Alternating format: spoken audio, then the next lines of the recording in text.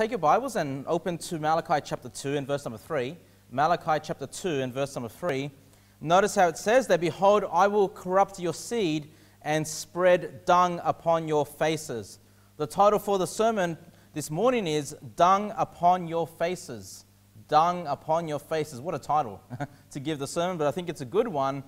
And it really illustrates how angry God is with these priests at this point in time. Remember, Malachi is you know the last book of the Old Testament. It gives gives us a picture of what Israel was like, or you know what Judah was like before Jesus Christ came on the scene. Remember, this is some maybe 300 or 400 years before Jesus Christ comes on the scene, and you can see that the nation is in a very spiritual, in a, in a very dark place spiritually. All right, so let's start off with there in verse number one, Malachi chapter two, and verse number one. It says, "And now, O ye priests, this commandment is for you." If you will not hear, and if you will not lay it to heart to give glory unto my name, saith the Lord of hosts, I will even send a curse upon you, and I will curse your blessings. Yea, I have cursed them already, because ye do not lay it to heart. And so, what I want to see there, if, if you remember chapter 1, we saw just how angry God was at the priests, right? How angry he was that they weren't taking the, the service seriously. They weren't offering their sacrifices. They weren't giving the best of their sacrifices. I mean, God is so upset. And you can understand why God may just turn around and destroy them. But it's amazing because even though they are so far from God, even though God is so angry, in verse number two, he says, Look, get right with me, right? Get right with God.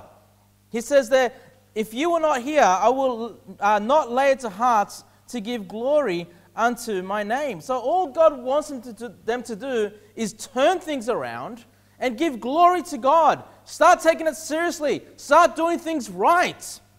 You know, our Lord God is, is so long suffering, He's so patient. In Psalm 86, verse 15, it says, But thou, O Lord, art, art a God full of compassion and gracious long suffering, and plenteous in mercy and truth. And so our Lord God is full of compassion, gracious, long suffering. And you can see how God just wants to give them a commandment. Hey, look, get things right, give me the glory, do things the right way, so I don't have to go and curse you. All right? And look, he says, you know, yea, I have cursed them already. Hey, look, I'm going to curse you, but I've, I've already cursed you. Hey, get things right. Let's, let's have, let's do, you know, the temple sacrifices properly. Do your service properly. And so the Lord can, you know, once again be content and satisfied with the work and the service that they are doing for the Lord. And look at verse number three. God says, this is a warning. He says, if they don't get things right, verse number three, he says, Behold, I will corrupt your seed and spread dung upon your faces, even the dung of your solemn feasts, and one shall take you away with it. Okay? So, first of all, he says, Behold, I will corrupt your seed. Now, when we look at this chapter, I think it's quite clear what the seed represents here. This is the descendants, these are the children of the priest. He's saying, Look, get things right, or I'm going to corrupt your seed. It's not going to end well with your descendants. It's not going to end well with your children. Why is this so important? Because you may remember that the priests that would serve in the temple had to be from the tribe of Levi, right? And they had to be descendants of obviously Aaron, with you know uh, Moses' brother Aaron, and this was a family thing. So you could only serve as a priest if you were in that family line. And so it's very important for, for the Lord to point out the seed of the priest here and what he's basically saying is if you don't get things right, there are going to be lasting consequences on your children. All right? So, again, this just shows us how very dark of a place Israel was. And I'm telling you, they didn't get things right. Ultimately, they didn't get things right. And this is why we see generation after generation after generation that leads up to the birth of Jesus Christ in Bethlehem. And again, God has to send John the Baptist to, you know, prepare the way of the Lord because Israel had lost their way. They were very dark spiritually, and so we could see this, you know, uh, lasting effects on the children of these priests that are being corrected by God. And look, why does it say here that your seed will be corrupted? You know, your children will be facing the consequences. Because even though our God is a God who is long suffering, I'll just read to you from Numbers 14, verse 18. This is a very important principle, especially as parents, that we need to understand. It says, The Lord is long suffering and of great mercy. So we've seen that before. But then he says, Forgiven iniquity and transgression. So he wants to forgive us, all right? But then it says, And by no means clearing the guilty, visiting the iniquity of the fathers upon the children unto the third and fourth generation. What this passage is telling us is God wants to forgive us. Parents, God wants to uh, have sweet fellowship with you. God wants to make sure that you live in an upright, holy life. But if you don't, if you are guilty, like these priests were, of not serving, the God, not serving God properly, not working for the Lord, that your disobedience, your sinful ways, your iniquities will have lasting effects, lasting consequences on your descendants. You know, up to the third and fourth generation. And so this is a, a truth that we see the consequences of the parents' sins, you know, ends up being bad for their children. You know, and uh, of course the reverse is true. If someone is seeking the Lord, is trying to live uprightly, trying to live righteously, then their children are going to benefit from that, right? Because they're going to see the faith of their parents. They're going to see their love and service for the Lord, and they'll want to also emulate. They'll see a good example, and it'll be much easier for the children who saw a great example in the parents to also love and serve the Lord. Okay? So, this is, of course, a lesson for the parents. Hey, let's learn from these corrupt priests how their sin was having these lasting consequences on their children. Now, once again, the Lord says here, oh, I, and spread the dung upon your faces. Okay, so he's taking excrement. You know, think of the picture here. You know, is this what you think about God in the Bible?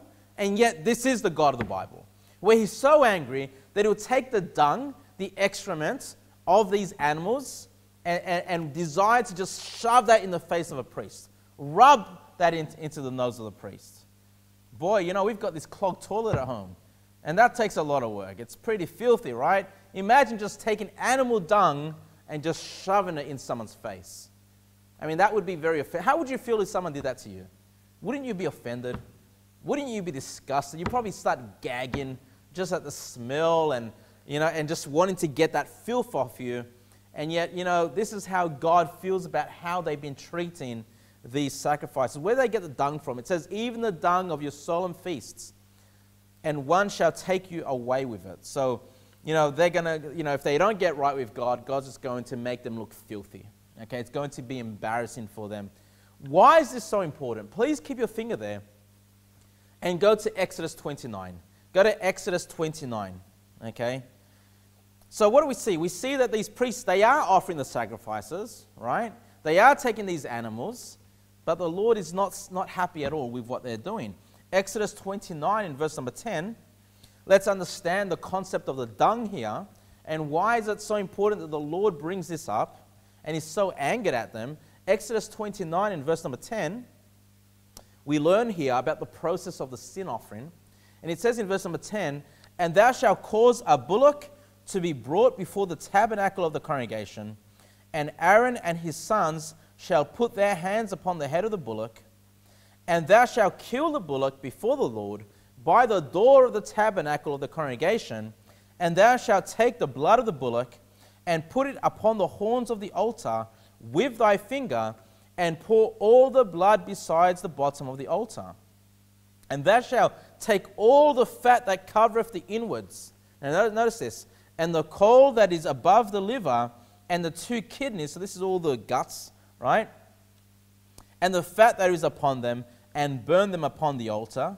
But notice verse number 14. It says, But the flesh of the bullock and his skin and his dung, there it is, there's, there's the dung, shalt thou burn with fire without the camp. It is a sin offering. And so this animal is being taken as a sacrifice, but then its flesh, its skin, its dung, uh, okay, was taken outside of the camp, without the camp. It was taken outside of the camp, and there it was burnt to a crisp. This is the picture of the, well, this is the sin offering that the Old Testament saints had to do. Now, what I want you to think about though is who was the ultimate sin offering? Jesus Christ, of course, right? Jesus Christ. So when we look at this example, we see that the bullock is brought before the uh, congregation. The priest, Aaron and his sons, put their hands on the head of the bullock. So this, this creature, this animal, gets presented before the congregation, before the priests. And this, of course, is the picture of Jesus Christ who would be arrested and brought before the chief priests, brought before the rulers, and you know, false accusations were made against the Lord. And then what happened? As they shed the blood of the animal here, well, before Christ was crucified, his blood was being shed, right? He was being whipped. He had the crown of thorns put upon his head. I mean, Jesus Christ was bleeding before he was even taken up to the cross of Calvary. And then, after this animal is sacrificed, its flesh, skin, and dung is burnt with fire without the camp, outside the camp. It is a sin offering. Okay? Now, please go now to Hebrews 13. Go to Hebrews 13, verse 11.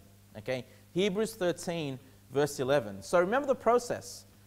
The animal gets brought, it gets killed, the blood is, is shed within the camp, but then the leftovers are taken outside of the camp and it's burnt to a crisp. Okay? Now go to Hebrews chapter 13 and verse number 11 because I want to show you the parallel here. Of course, this is a picture of Jesus Christ. This is a type of Christ. In verse number 11, Hebrews chapter 13 and verse number 11, it says, For the bodies of those beasts, those are the beasts that were sacrificed, whose blood is brought into the sanctuary, so the blood is brought into the sanctuary, right, by the high priest for sin, are burned without the camp. So outside of the camp, right? The flesh, the skin, the dung, that's all burnt outside of the camp. Now, why is that important? Because in verse number 12 it says, Wherefore Jesus also. So you see, this sacrifice was a picture of Jesus Christ. Jesus also did this. Okay? Wherefore Jesus also, that he might sanctify the people with his own blood, suffered without the gate or outside of the gate. Okay? And of course, when Jesus Christ was crucified on the cross, he was taken outside of the gates of Jerusalem. He was taken to uh, Calvary and he was crucified on the cross. So let's understand that. You know, once again, the priests, the, the sorry, the, the, the, the bullock would be brought. You know, the, uh, the priest would lay their hands on them, on, on, the, on the creature, just like Jesus Christ. You know, the hands were laid on Jesus. He was arrested. He was brought into Jerusalem. Okay, presented before the chief priests. Then his blood was shed, right? When he was whipped, the crown of thorns, all those kinds of things. But was that the end of his sacrifice? No, because then, just as like the creature was taken without the camp to be burnt, so was Jesus Christ taken without the gates or outside of the gates of the city to be crucified on the cross. So do you understand now why God is so angry? Why is God so angry? Because these sacrifices pictures the sacrifice of Jesus Christ. And God is a God of order. God is offering this sacrifice of love. And these priests are defiling the picture of the sacrifice of Jesus Christ. And so God is like, you know what? That dung that is normally taken outside of the camp, that dung, that waste is taken outside. Instead of taking it outside, I'm going to take that dung and I'm going to shove it in your face. I'm going to rub it in your face. God cares that things are done properly. And when it comes to this church, we need to do things properly. You know, we need to take church seriously. Things need to be done decently and in order. Church is not game, is, uh, games. You know, we're not playing a game. I'm not mucking around here. When I prepare a sermon, I do my study. When I, I think about the brethren in this church, and I think I want to edify, I want to give you knowledge, I want to be a help, I want to make sure that you have faith in your pastor. I want to make sure that this church is serving the Lord and, and, and doing the works and the, and the worship and the honor that, that God deserves from this church. We don't want to muck around. We don't want to be serving God and offering our sacrifices and then God saying, Look, just I'd rather just take dung and shove it in your face. We don't want God to say that about New Life Baptist Church or Pastor Kevin Sepulveda. No, we want our service to be true. We want to have a love for the Lord. We want to have an honor for the Lord. We want to take our church seriously. And so that's the obviously that's a lesson that we can take out of this and just understand the anger of God when church is not done properly. Okay, and again, what's the parallel? The, the house of God was the Old Testament temple, the house of the Lord is the New Testament church in you know, New Testament times. And so let's go back to Malachi chapter 2 and verse number 4. Malachi chapter 2 and verse number 4. Let's continue. It says, And ye shall know that I have sent this commandment unto you, that my covenant might be with Levi, saith the Lord of hosts. My covenant was with him of life and peace, and I gave them to him for the fear wherewith he feared me and was afraid before my name. And so the Lord is pointing back to when he first brought the Levites or made the Levites into these priests. And of course, that plays into Aaron and his sons that were the first priests. And so the Lord is saying, Look, I, I made this covenant with Levi. He's comparing the old priesthood, which were faithful to the Lord, which did things properly, to the new priest here in the days of Malachi. Okay? And like, there's a huge difference, right? The others, it says in verse number 5, My covenant was with him, those are the original priests, of life and peace. I mean, that sounds awesome. A covenant of life and peace. Hey, there's a great blessing there for the Levites should they do things properly. But not only that, it says, And I gave them to him for the fear wherewith he feared me. So the first priests, they had a fear of God. They had a healthy fear of God, right? And so God was able to, to bless them. And it says, and was afraid before my name. You know, they were serving God out of fear. You know, they, they, they made sure they were doing things right because they didn't want to be angered. They didn't want to anger the Lord. They didn't want to be cursed by the Lord. They had a love for the Lord. They had an appreciation for the Lord. So they did things right. But these guys, these priests in the book of Malachi, they've got no fear of God. They're losers. All right? And you know what? There's plenty of pastors today of churches that are just losers. Losers. All right? And they deserve dung to literally be thrown in their face, rubbed into their face. Because church is a serious thing. Our worship is serious. Our service to God is a serious thing. And I really encourage the children in our church, you know, make church a priority in your life. When you come to church, pay attention to the preaching, pay attention to the songs that you sing. Have a love for the Lord, right? And then you go and enjoy your life. Go and go and have fun. Go and play. But while church service is on, take it seriously. Because I don't want a corrupt seed. I don't want dung, God to take dung and shove it in your face. All right? We want obviously to, to create or to bring in a, a godly, and we'll look at this later, a godly seed, a godly generation in our local church. Look at verse number six. Now, talking about the original priests, right? Verse number six the law of truth was in his mouth, and iniquity was not found in his lips. So, this is a really good example of, um, you know, what ordained leaders of a church should be like. All right, so truth in his mouth, not, no iniquity found in his lips. Because what you'll notice here as we keep reading is that the priest, it, you know, it wasn't just their job to look after the temple. It wasn't just the sacrifices, but the priests were also given instruction to teach the people of Israel. You know, they were to preach the Bible, they were to teach as well. And so obviously they had to know the Word of God, they had to know the law of Moses, they had to be able to preach the truth. Let's keep going there. It says, He walked with me in peace and equity, and did turn many away from iniquity. So that's the goal of the preacher, brethren. That's, that's the goal to turn many from iniquity. Now, you don't need to turn from iniquity to be saved, right? Uh, you know, you don't have to repent of your sins to be saved. In fact, if you believe you have to repent of your sins to be saved, you're not even saved because you're trying to keep the law of God. And salvation is not by keeping the law, salvation is by your faith on the finished work of Jesus Christ, his sacrifice. Okay? But now that you are saved, now that you are in New Life Baptist Church, it is my job as the pastor, it is the job of other preachers that come behind this pulpit to help you turn from iniquity. You know, to preach against sin, to preach against the things you struggle with, you know, to encourage you in the Lord so you can live a more righteous life. That's the purpose. That's what we desire. We desire that as we leave church, when we've heard good preaching, that we're a little bit more righteous, that we have a little more knowledge, that we have a little, you know, more fear of the Lord than what we had before. That's the goal of church. And what you'll notice is if you miss church week after week after week, you'll start to lose a lot of your knowledge. You'll start to lose the fear of God. You know, you won't be taking church seriously. And so it is the job of the preacher to make sure that they help people turn from iniquity.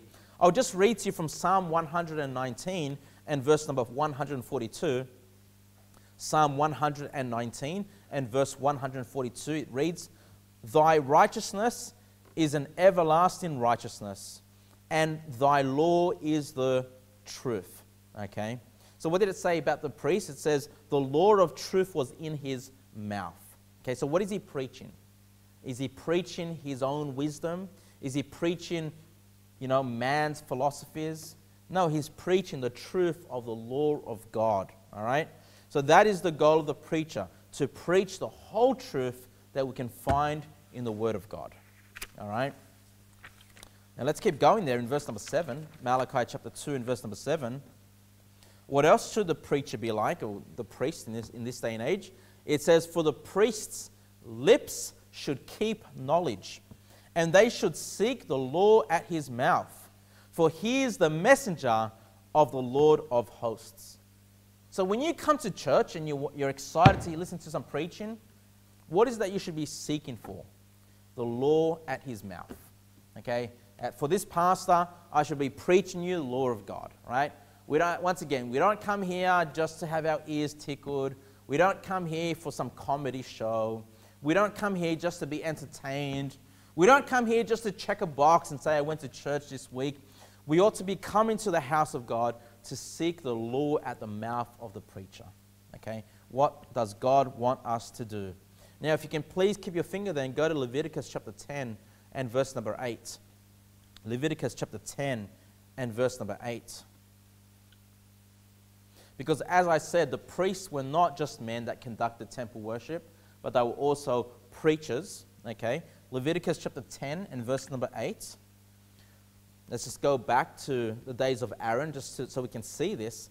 Leviticus chapter 10 and verse number 8 reads, And the Lord spake unto Aaron, saying, So Aaron, of course, the high priest, do not drink wine nor strong drink.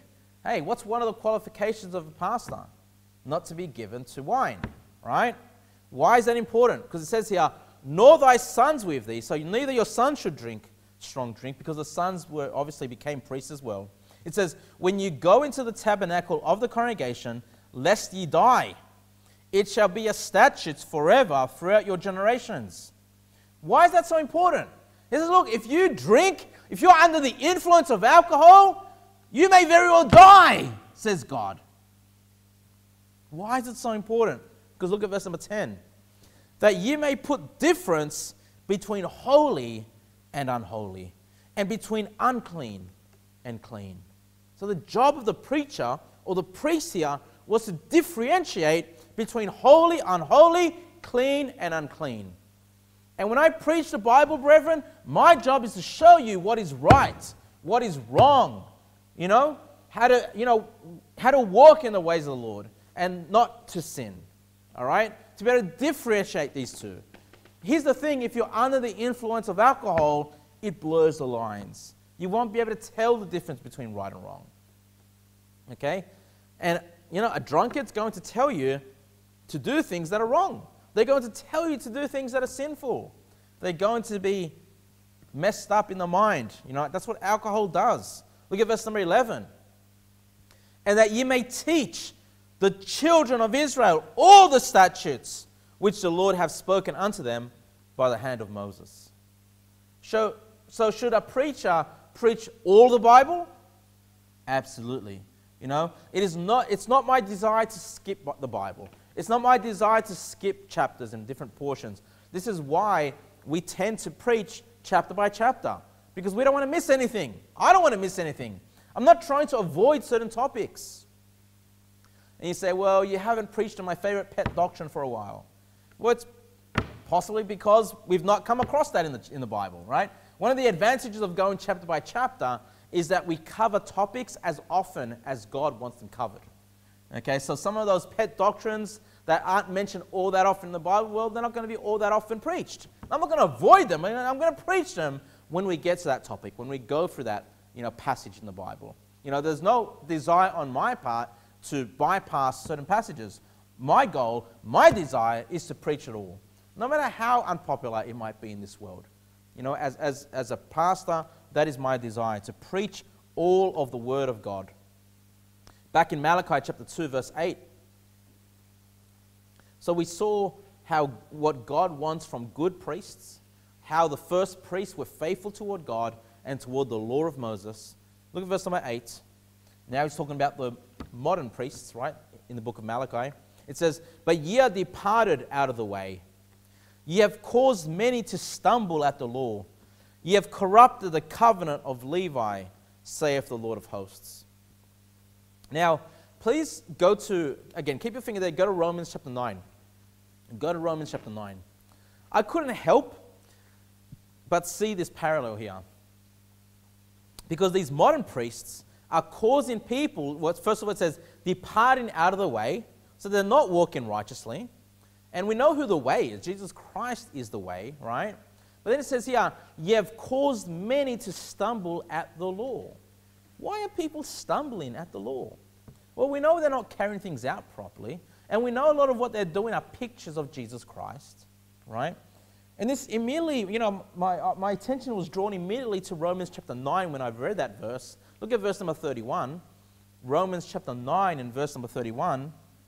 It says, But Israel, which followed after the law of righteousness, hath not obtained to the law of righteousness.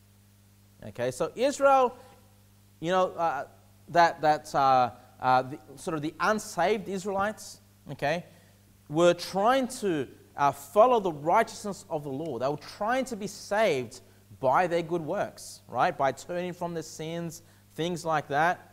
Verse number 32 Wherefore, because they sought it not by faith, but as it were by the works of the law, for they stumbled at the stumbling stone. Okay? So, what we saw with what was mentioned in the book of Malachi, it said that they had stumbled at the law. And what we see in Romans chapter 9 is that they stumbled at the stumbling stone. Okay? So they're stumbling. They're stumbling under the Old Testament. Boy, they're stumbling under the New Testament as well. Right? Verse number 33, it says, And as it is written, Behold, I lay in Zion a stumbling stone and rock of offense, and whosoever believeth on him shall not be ashamed. So, who is the rock of offense here to the Jews? If it's someone that you've got to believe in to be saved, it's Jesus Christ, right? And so these Jews of old were stumbling at the law. You know, they were so far from, uh, from knowledge, they were so far from understanding. Well, you know, if they don't have a fear of God, hey, what's the beginning of knowledge? What's the beginning of, of wisdom? It's a fear of God. And these guys have no fear. They can't understand the law. They're causing people to stumble. And what we see play out, they also stumbled at Jesus Christ. They couldn't understand that salvation was by believing on Christ. And why I know that is because the way they offered sacrifices, they had corrupted it all. And they, they weren't taking the sacrifice of Jesus Christ seriously by picture form. So if they're not taking the picture seriously, how are they even placing their faith on the true thing, Jesus Christ? They were really messing things up. They were messing up the faith of the Israelites. Again, you know, this shows you why when Christ came on the scene, Israel was such in such a dark spiritual place. Look at verse number 9, back to Malachi chapter 2, verse number 9. The Bible reads, Therefore have I also made you contemptible and base, so that's basic, low, before all the people. So the people of Israel didn't even like the priests. It says, according as ye have not kept my ways, but have been partial in the law. Partial. So some of the things they did, but other things they weren't doing. Okay, they were being partial about it. And this reminds me of the Pharisees in Jesus' day. In Matthew chapter 23, verse 23, Jesus says to the Pharisees, Woe unto you, scribes and Pharisees, hypocrites! For ye pay tithe of mint and anise and Cummin, and have omitted the weightier matters of the law, judgment, mercy, and faith. These ought ye have to have done, and not to leave the other undone. So the Pharisees and the scribes, they were so focused on tithing and just, just such small matters, but they had forgotten about the law and judgment and mercy and faith. They had neglected these important areas. You know, these, these are weightier matters for the Lord. You know, so they were, in the same way, these Pharisees and scribes, they were being partial to the law. They were doing some things and neglecting other things. All right? So again, you can see the, the, consequences. These priests really mess things up. And then we get to the state of Christ, and Christ is on the scene. Just how messed up those religious leaders were the scribes, the Pharisees, the Sadducees, even many of the priests, right? Really messed up on the Bible, messed up on, you know, understanding who Christ was. You know, all those sacrifices, all those religious practices that was to help them understand Christ. They had corrupted it so much that when Christ himself was on the scene, they didn't recognize him. They didn't know who he was. Such a shame. Look at verse number 10, Malachi 2:10. It says here, "Have we not all one Father?" Now, it's quite interesting here because, you know, the Trinity is not a, a doctrine that's uh, clearly taught in the Old Testament. I'm not saying the Trinity is not in the Old Testament. I'm just saying that the, the Trinity, the doctrine of the Trinity, is actually a New Testament teaching from Jesus Christ. Jesus Christ is the one that taught it heavily when he came on the scene during his three year ministry. Okay? And so you don't often see God referred to as a father. Okay? Now, you, may, might, you might make the conclusion here that maybe the father here, the one father, maybe that represents Abraham or Isaac or Jacob, right? But I'll show you why I believe this is a reference to God. Because, I mean, immediately, look, let's have a read of it. Have we not all one Father? Question mark. Have not one God created us? So we know that second question is about God who created them. So I, I believe these two questions are basically asking the same thing. Okay, I believe these things are saying exactly the same thing. Have we not all one Father? That's the God who created us. But notice the next question. It says here, Why do we deal treacherously every man against his brother by profaning the covenant of our fathers. Now, when it says here, our fathers, the covenant of our fathers, that, that definitely, fathers plural there, is their spiritual forefathers, right? That's definitely the, you know, Abraham, Isaac, and Jacob, and all their ancestors that have gone before them, right? That's definitely referring to them. So when we look at verse number 10, you've got one, father at the beginning, verse number 10, and then at the end of verse number 10, it's got our fathers. One father and our fathers. So you can see the difference there. You know, the fact that one father has been referred to, I believe that's a reference to God the Father. And then we have our fathers as though spiritual lineage, you know, uh, or the ancestors that have gone uh, before. And so I'm going to read to you now, just quickly from Isaiah 63, verse 16. You don't need to turn there. Isaiah 63, verse 16. It says, Doubtless, thou art our father. Though Abraham be ignorant of us, and Israel acknowledges us not. Thou, O Lord, art our Father, our Redeemer. Thy name is from everlasting. And so it's interesting here because in Isaiah 63, verse 16, you see a reference to the Father, you know, the Lord, our Father. And then we see again here in Malachi chapter 2, verse 10, the reference of, our, of the one Father. And so, you know, just, just a reminder there that, you know, the Trinity is definitely in the Old Testament. It's just if you were to read the Old Testament alone, that wouldn't be very clear. Until you get to the New Testament, you understand the Trinity as Jesus Christ taught it. Then you go back to the Old Testament, and you can clearly see uh, the, the Trinity in view there. But let's go to verse number 11. Okay, verse number 11, it says, Judah have dealt treacherously, and, and, and an abomination is committed in Israel and in Jerusalem.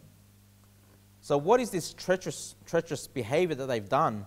It says, For Judah have profaned the holiness of the Lord which he loved, and have married the daughter of a strange God. So, what's another big mistake now that the nation of Judah have, have done? They had taken wives, right? They've taken daughters of a strange God. They married women who were not saved. They married women that worshipped false gods. And we see, you know, this is obviously a problem that we see over and over and over again in the Bible. But you know, Israel was not permitted to marry unsaved heathen. You know, they had to marry a sister in the Lord. And that's, you know, the same for us today, brethren. If you're a believer, hey, you know, young people, if when, when the day you get married, you better make sure the person you choose is saved, is a believer, is someone that you can connect with on a spiritual level as well. All right? And if you marry a non believer, I'm telling you now, you're going to have problems in your marriage. You're going to have problems. You won't be able to serve the Lord like, like you wish. And your children are going to suffer the consequences of your terrible mistakes. But why this is such a huge shame is because, you know, if you, have, you know, if you can, go to Ezra, it's just a couple of books back. Uh, actually, no, Ezra. Go to Ezra, sorry. Ezra chapter 10. My apologies, got confused there. Go to Ezra chapter 10 and verse number 10. Go to Ezra chapter 10 and verse number 10. And you may know the story of Ezra. So he was, you know, um, responsible for getting the temple rebuilt, the second temple rebuilt, Ezra. And you know, after the temple was rebuilt, there was a major issue in the land of Israel because all these Jews had married unsaved heathen. Okay, had married unsaved women with strange gods. And so in Ezra chapter 10 and verse number 10, notice what happens. Ezra chapter 10 and verse number 10, it says, And Ezra the priest stood up and said unto them, Ye have transgressed and have taken strange wives to increase the trespass of Israel. Now, therefore, make confession before the Lord God of your fathers, and do his pleasure, and separate yourselves from the people of the land and from the strange wives. Then all the congregation answered and said with a loud voice, As thou hast said, so must we do. So, what we notice here that after the temple was rebuilt, Ezra looks at the people, you know, he's very upset because they've had, taken so many unsaved, ungodly wives, and he basically requests they have a mass divorce. There's a mass divorce that takes place. You know, all these people start divorcing their unsaved, unsaved wives. Now you say, well, is that what God wants? You know, is that God's plan? Is that, should they have done that? And the answer is very simple no. God hates divorce. And look, if you're married to an unsaved person, well, now you've got to make the most out of it. You know, you, you've got to just try to be a blessing, try to get that spouse saved, all right? Try to get the children serving and loving the Lord. But what we notice in Ezra chapter 10, verse 10, it's just something that they did. This is just history. This is what they did. This is not saying this is the right thing to do, but rather this is what Ezra decided to do because of the situation that they had married all these uh, heathen women, right? These unsaved women, these strange women and this is a shame because Malachi is just, you know, a few years, a few generations after what happened in Ezra. You know, there was this mass divorce of all these strange women. And what do we notice the next generation's doing? They once again married women who had a strange God. Once they just went back to their old sins, went back to the old ways. Okay, so you can see a real spiritual decline in the people of Israel. I mean, these guys didn't do right getting divorced. But at least their hearts were kind of right. They were trying to make things right with God. They went about it a wrong way, but they were trying to do things right, you know. Whereas now, they're just freely marrying women. They have no fear of God, you know, marrying, sorry, strange wives. And what's worse about this is they actually had good wives to begin with. They had wives that were Jews. They had saved wives before. You notice this as we go back to Malachi 2, verse 12. Have a look at this. Malachi chapter 2 and verse number 12, it says here, The Lord will cut off the man that doeth this, the master and the scholar, and uh, sorry, out of the tabernacles of Jacob, and him that offereth an offering unto the Lord of hosts. And this have ye done, covering the altar of the Lord with tears, with weeping, and with crying out, insomuch he that regardeth not the offering any more, or receiveth with, with good will at your hand. So he's saying, look, to the, to the Jews, God doesn't receive your offering. God doesn't receive your sacrifice. And what we notice in verse number 13, there was a lot of tears, a lot of weeping. People were bringing their sacrifices and they had the tears, they had this show, you know, oh, I'm so uh, sincere in my offering, you know, I'm, I'm weeping about my sins, I've, you know, I need to get right with God. They've come to the altar and God says, I don't receive it. They're putting on this emotional show. God says, I don't receive it. Okay? You know, these false tears are being rebuked by God. And I often think, you know, when I look at this passage, think how God re- rejects this, this emotional showing, which is empty, because they're often like corrupted sacrifices. You know, it, it, makes me think of a lot of these churches that show a lot of emotion. You know, a lot of these Pentecostal churches, you know, they're weeping. You know, they believe they're glorifying God, though they're teaching a false gospel, though they're leading thousands upon thousands of people to hell. And they think they're putting on a show, all this emotion going on. You know what God says? He doesn't receive it. I don't receive that. You know, even the Roman Catholics. How much do Roman Catholics weep? Praying the rosary, oh, crying tears for the Virgin Mary or something. I mean, so much so that a lot of these Catholics have these statues that apparently weep oil out of, it, out of her eyes. You know, the, the Roman Catholic Mary. You know, it's all about the emotional show, but it's empty. It's vain. It's ungodly. It's a strange God. Okay, it's a corrupted sacrifice. God does not receive that. Maybe a little bit closer to home. We, I, I see this sometimes in the Baptist churches, right? Come before the altar. You know, you work people up in emotions, you play some hymn, get people really fired up emotionally. You know, come before the altar and confess those sins. Come get right with God right here. People come before the altar weeping, Oh Lord, yes, I'm going to serve you. I'm going to do what's right. I come to the altar. It's all a show. Many times, oh, look, listen, I won't, I won't say it's all a show. Many times people are sincere, but there are many Many that do it for the show. Many think that by coming to the altar and weeping tears that now you're right with God. Listen, if you're bringing corrupted sacrifices, you know, if you're not being sincere, if you're doing it for the show, you're just going through the motions, the Lord doesn't receive it. Let's keep going. Verse number 14. Yet you say, Wherefore? Because the Lord hath been witness before thee and the wife of thy youth, against whom thou hast dealt treacherously, yet is she thy companion and the wife of thy covenants. So these Jews, and we know that polygamy was a major problem, they had treated the wife of their youth treacherously, and they've gone and married these strange women with a false god. Okay? So these men weren't even good husbands. They were a failure. They were a failure in their service for God, they were a failure in home. They had treated their wives of their youth treacherously. What did God want from them? Look at verse 15. What did God want for the, for the people of Israel here? Verse number 15. It says, And did he and, and did not he make one? Yet had he the residue of the Spirit? And wherefore one? Why does God make one? Why does God allow marriage? Why is that so important? That he might seek a godly seed. Brethren, you know what I want for my children? I want my children to grow up to be a godly seed. I want the children of this church, the next generation, to be a godly seed. That's what we want. When we compare the seed that was brought in, in, in our attention earlier in the chapter, look at in verse number 14. Sorry, verse number Verse number, uh, verse number three.